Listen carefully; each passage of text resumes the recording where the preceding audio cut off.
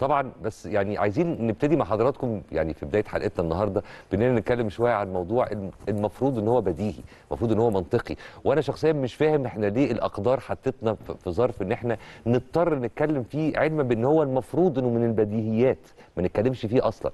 عموما تعالوا نتكلم شوية عن فكرة وعن أهمية وعن جدوى وضع معايير ومواعيد ثابتة لكافة البطولات عشان يعني نحضر على سبيل التغيير season منظم ومنتظم. امبارح النادي الأهلي أرسل خطاب خطاب لاتحاد الكورة عشان يعني نعرف ميعاد ومكان السوبر المحلي اللي هيقام أو اللي بيقام طبعا سنويا من مباراة واحدة فقط بين بطل الدوري وبطل الكاس. دي بديهيات. نرجع ونقول لأن المفروض يكون اتحاد الكورة أخطر النادي بالفعل بهذه الاستفسارات من غير ما نضطر إن إحنا نبعت خطابات.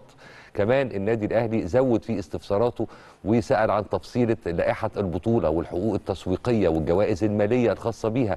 وهل هيكون في أي تعديلات جديدة طرأت على نظام البطولة المعمول به في المواسم الماضية ولا هتفضل زي ما هي؟ إحنا لسه بنقول بسم الله يعني ما فيش حد لغاية دلوقتي عارف أي حاجة.